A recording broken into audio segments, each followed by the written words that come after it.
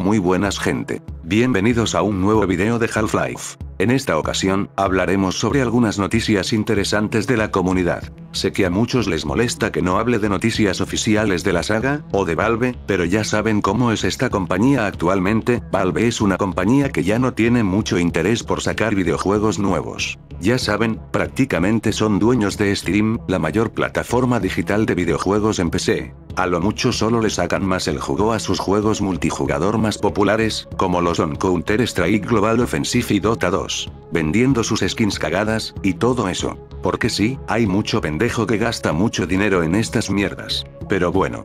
Cada quien es libre de tirar el dinero a la basura donde quiera. Y además que esperar de una compañía que no tiene un jefe al mando. No odio a Valve, creo que es una de mis compañías favoritas, por sus franquicias, principalmente por Half-Life y Left 4 Dead. Pero actualmente esta compañía tiene una visión totalmente distinta que no me interesa. Es algo personal. Además, sé de antemano que no tienen la obligación de sacar juegos nuevos, no nos deben nada. Pero es algo triste que tengamos que esperar muchos años para ver algo oficial de Half-Life o Portal. Ya ni hablo de Left 4 Dead. Pero bueno, actualmente los fans son los que mantienen vivo a Half-Life, Portal, Team Fortress, y Left 4 Dead sacando mods, ya sean skins, historias fanmates, o añadiendo mecánicas nuevas. El día de hoy, hablaremos de algunos proyectos nuevos de Half-Life, ya sean mods o juegos fanmates, como quieran llamarlos. Hablaremos de los avances de Black Mesa Blue Shift, del proyecto remasterizado de Half-Life 2 llamado Fake Factory, y por último de la división 3 de Rising de Bar Redux. Si quieren ver el resto de vídeos de noticias o proyectos en camino, les dejaré la lista de reproducción completa al final del video, o en las tarjetas que les estará apareciendo en la esquina superior de la pantalla. Así que chavales, pibes, güeyes, los proyectos más recientes de la comunidad.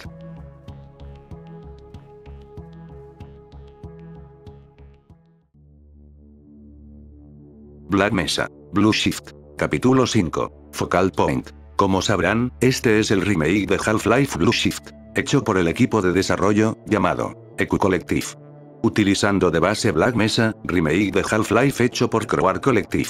Black Mesa Blue Shift es un proyecto que se ha estado lanzando por partes, lanzando un capítulo por lo menos cada año, para que la espera no sea tan larga. Siendo el primer capítulo lanzado en el año 2021, hasta el capítulo 4 lanzado a finales del año 2022. Un capítulo 4 muy impresionante, que no tiene nada que envidiarle al Black Mesa original.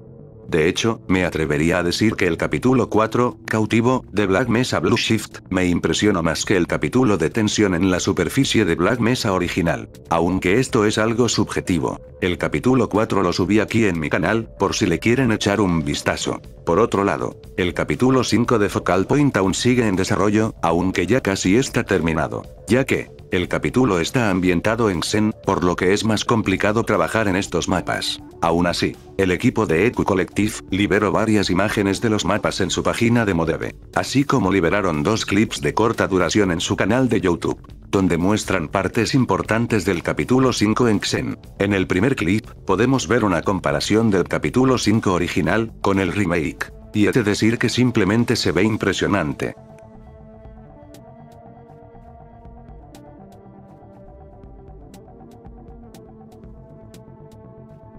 En el segundo clip, podemos observar una nueva variante de Bullskid, mucho más peligrosa que el Bullskid original. Simplemente me encanta que traten de añadirle contenido nuevo a Xen de Blue Shift, para diferenciarlo mucho con el Xen del Black Mesa original. En las imágenes podemos ver un traje de protección HEV, con un diseño distinto al original, que se ve bastante bien. Me recuerda al traje de Iván el motociclista. También podemos ver una imagen más clara de la nueva variante del Bullskid que es similar a la variante pesada del Hyundai que vimos en el Black Mesa original, con esos cristales encrustados en el lomo, que son como un caparazón blindado. El resto de imágenes solo son un vistazo del resto de los mapas. Sobre la fecha de lanzamiento de este capítulo aún no está claro, pero anteriormente habían mencionado los desarrolladores que sería en verano de este año 2024, por lo que probablemente podamos jugarlo entre julio o agosto, a más tardar en diciembre. Dudo mucho que tengamos que esperar hasta 2025, teniendo en cuenta que el capítulo ya está terminado en su totalidad. Supongo que solo faltarían pulir unas cuantas cosillas. Así que prepárense, que volveremos a controlar al Cañas muy pronto, completamente renovado. y los que no lo puedan jugar por limitaciones de sus peces, pueden ver su gameplay en el canal de Boloxed. Yo lo estaré subiendo más adelante en mi canal, cuando el juego esté subtitulado.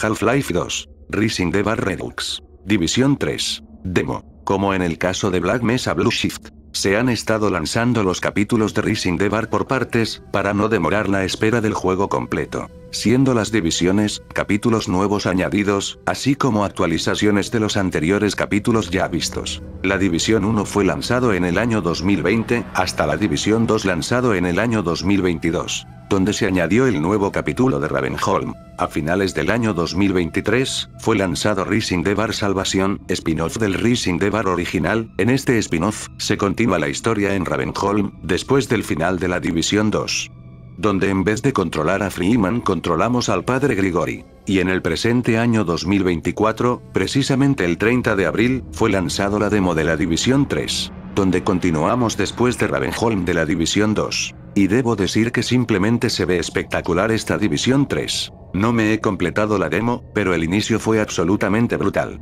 Con un tiroteo frenético al aire libre, en lo que parece ser una instalación Combine en medio de lo que pareciera ser el desierto. Infestado de hormigas león. Recuerden que este mod recrea la beta de Half-Life 2, aunque no es precisamente 100% fiel a la beta original. Ya que se toman muchas decisiones creativas ya sea en el diseño de niveles, como en el estilo artístico. Pero por lo poco que he jugado, me está encantando. Pasado mañana después de subir este video, les estaré subiendo los mejores clips de esta demo, por si lo quieren checar dependiendo de la fecha en la que vean este video. Así que, actualmente pueden descargarse la demo, de la División 3 en Modebere. Por cierto, ya he subido la División 2 completa en mi canal secundario, subtitulado al español, donde grabo sin comentar, en formato de serie cortando las escenas que sean aburridas de ver. Próximamente estaré subiendo Rising de Bar Salvación de igual forma. Y más adelante, cuando esta división 3 esté completada, también lo estaré subiendo más adelante. Así que si gustan, suscríbanse a mi canal secundario. Helex Hazard.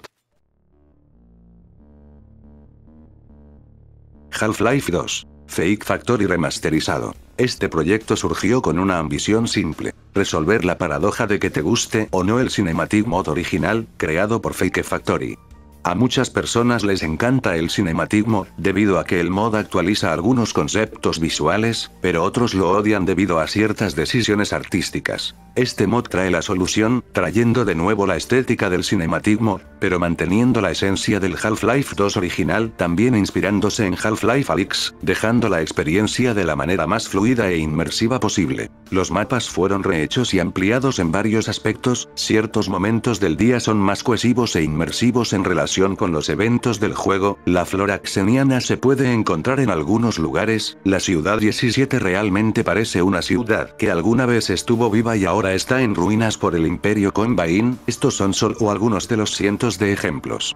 Todo está extremadamente calculado para una mayor inmersión y respeto para los que quieren jugar una versión mejorada, pero manteniendo la esencia original. A mí personalmente no me gusta el Cinematic Mode sobre todo por los modelos de personajes, que parecen hechos para gente pajera sin vida social. El Cinematic Mod mejoraba Half-Life 2 en muchos aspectos, sobre todo de mapeo, pero los modelos de personajes eran extremadamente feos, y encima sexualizados. Alix literalmente parecía una mujer hecha de plástico como las que salen en películas de adultos, y ni hablar de ciertos grafitis con dibujos de genitales. Simplemente patético. Por suerte, este mod como ya comenté, toma solo lo mejor del Cinematic Mod, mejorándolo aún más, eliminando todo lo malo que les acabo de mencionar, pero lo más importante, manteniendo la esencia del Half-Life 2 original que todos amamos. Actualmente, pueden descargarse la primera versión de este mod. Yo no lo descargo porque pesa un putero, 11 GB porque es el Half-Life 2 completo con mejora de texturas y amplio de mapas, por obvias razones pesa mucho. Pero para los que tengan un internet muy rápido, espero que lo disfruten. Yo ya que elimine espacio en mi disco duro, lo descargo. Podríamos decir, que, más que una remasterización de Half-Life 2, es una remasterización del Cinematic Mod, por cierto. Olvide mencionar que el mod es compatible con el M-Mod. Que tampoco es que me guste mucho, pero sé que a muchos de ustedes sí. Pero bueno, ¿ustedes qué opinan? Hay otro mod similar en desarrollo, que es un poco más minimalista, ya que no mejora las texturas, pero sí amplía los mapas. El mod se llama Alternis. Este mod agrega nuevos caminos y áreas en los niveles, también agregando algunos mapas completamente nuevos, que el jugador tendrá que atravesar a lo largo del juego, en lugar de tomar las rutas habituales que todos conocemos. No hay muchas imágenes, pero las pocas que vemos nos hacen dar una idea de lo que va a agregar el mod, que aún se encuentra en desarrollo. Pero ustedes qué opinan, ¿cuál de estos proyectos les emociona más? Les recuerdo que ya pueden jugar la demo de Rising de Bar Redux Division 3, y Fake Factory. Si notan errores con Fake Factory, pueden hacérselo saber al desarrollador en su canal de YouTube, o en su página de Moreve, que les estaré dejando en la descripción. Que actualmente el mod aún tiene uno que otro error. Sobre todo porque muchos modelos son extraídos de Game Banana. Y eso hace al juego inestable. A mí personalmente los proyectos que más me emocionan son Black Mesa Blue Shift y Rising de Bar Redux. Pero bueno gente, nos vemos en el siguiente video locuendo o con mi voz real.